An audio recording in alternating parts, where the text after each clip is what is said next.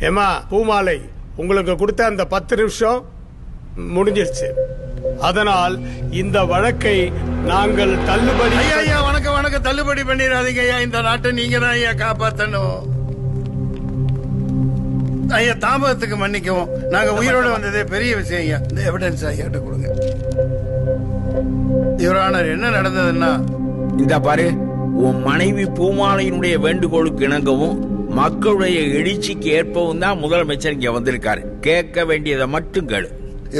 இந்த தாய் திருநாட்டில் மூளை முடுக்கெல்லாம் மதுக்கடைகளை திறந்து அதில் விற்கும் மது பதினோரு டிஸ்லரிஸ் மற்றும் எட்டு பிரேவரிஸ் முன்னாள் மந்திரிகள் மற்றும் இன்னாள் மந்திரிகளால் நடத்தப்படுகிற இந்த மது ஆலைகளிலிருந்து கொள்முதல் செய்யப்பட்டு வருடத்திற்கு இரண்டு லட்சம் கோடி ரூபாய்களுக்கு மேல் வருவாய் ஈட்டியும் கூட வெறும் அறுபதாயிரம் கோடி தான் வருவாய் வருகிறது என கணக்கு காட்டப்படுகிறது இவரான எக்ஸிபிட் ஒன் யுவரானர் இரவு பத்து மணிக்கு மேல் காலை பன்னிரண்டு மணி வரை கள்ளச்சந்தையிலே கொடிய விஷம் போன்ற எரிசாராயத்தை கொள்முதல் விலை வெறும் இருபது ரூபாய்க்கு அடக்கமாவதை அந்த மதுபான புட்டியை இவர்கள் நூத்தி எண்பது ரூபாய்க்கு மது பிரியர்களுக்கு விற்கிறார்கள். அதன் மூலம் பல கோடிகள் கைமாறுகிறது. ஆயத்தீர்வை குறைவாக இங்கே காட்டப்படுகிறது. ஐ ஒப்ஜெக்ட் இதுக்கெல்லாம் சாட்சியமோ? எந்தவித எவிடன்ஸோ இல்லாம ஓபன் கோர்ட்ல officers of our government accuse பண்ண கூடாது அனைத்திற்கும் எவிடன்ஸ் கொடுக்கப்பட்டிருக்கிறது யுவரானர் மரியாதைக்குரிய அட்வொகேட் ஜெனரல் தெரியாமல் பேசுகிறார்.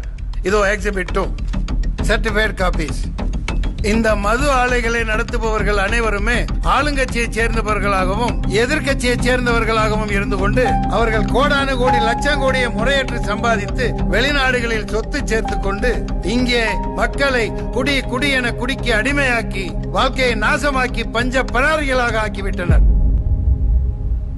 உன்னற்க கல்லை உனில் உண்க சான்றோரால் எண்ணப்பட வேண்டாதா என்ற வள்ளுவ பெருந்தகையை ஆட்சி அதிகாரத்தின் அடையாளமாக வைத்துக் கொண்டு ஆட்சி நடத்துகிற இந்த அரசு ஐயன் வள்ளுவனுக்கே ஆப்பு வைத்து அரசாட்சி நடத்துகின்றனர் இவரானர். மதுவை குடிக்க வைத்து குடிக்க வைத்து மக்களை மடையர்களாக்கி வெறும் ஓட்டு போடும் எந்திரங்களாக்கி அவர்களுக்கு வாக்கு செலுத்துவதற்காகவே இலவசங்களை பிச்சையாக போட்டு அதன் மூலம் ஆட்சியை பிடித்து சரக்கில் வரும் வருமானத்தை அவர்கள் பையிலே போட்டுக்கொண்டு மிகப்பெரிய கார்ப்பரேட் நிறுவனங்களுக்கு அதிபதிகளாக உலா வந்து கொண்டிருக்கின்றனர் இவர்கள் இவரான.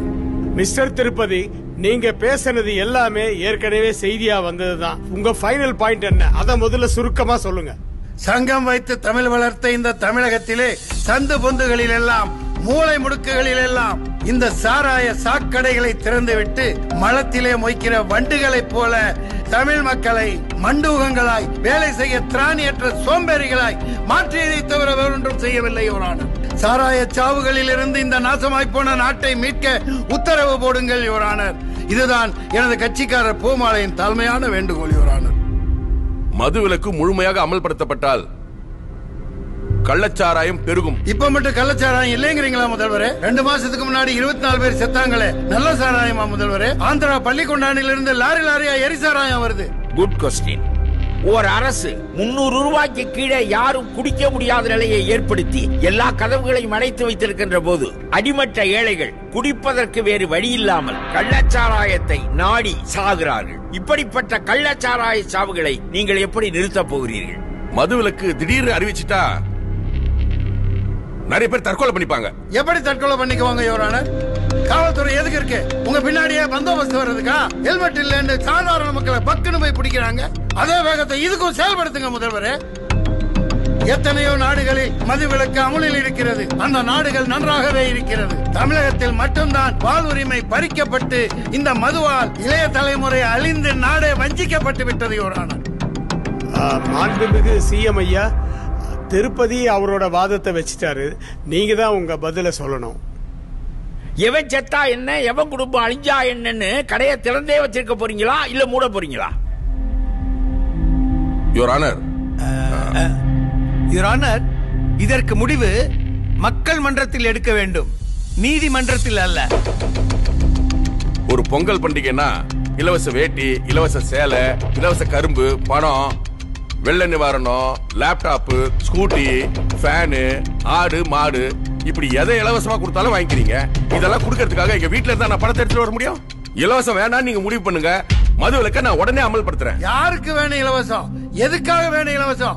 ஓட்டுக்காக இலவசம் கொடுக்கறீங்க. இலவசம் கொடுத்து கொடுத்து கையேந்தி பிச்சை எடுக்கிற பிச்சைக்காரர்களா எங்க தமிழர்களை ஆக்கி வச்சுட்டீங்க பஞ்ச பராரிகளா உங்க கொடிகளை புடிச்சுக்கிட்டு கோஷம் போடுற கொத்தடிமைகளா கோட்டரும் பிரியாணியும் கொடுத்து வேலை செய்ய மறுக்கிற கூட்டமா இந்த தமிழர்களை மாற்றி விட்டார்கள் யுவரானர் ஏழு லட்சம் கோடி இன்னைக்கு உலக வங்கியில கடன் வாங்கி அனுபவிச்சுட்டு இருக்கிறதெல்லாம் நீங்க கடன்பட்டு சாகிறது நாங்க. ஒயின் ஷாப்ல மட்டும் இல்ல. மண்ணை விக்கிறீங்க மலையை குடைஞ்சு கல்ல விக்கிறீங்க கனிம வளங்களை எல்லாம் கார்ப்பரேட் நிறுவனங்கள்ட்ட கமிஷன் வாங்கிட்டு கொடுத்துறீங்க இலவசம் யாருக்கு வேணும்? அது ஒரு ஏமாத்து வேலை. உங்களுக்கு இலவசம் வேணுமா?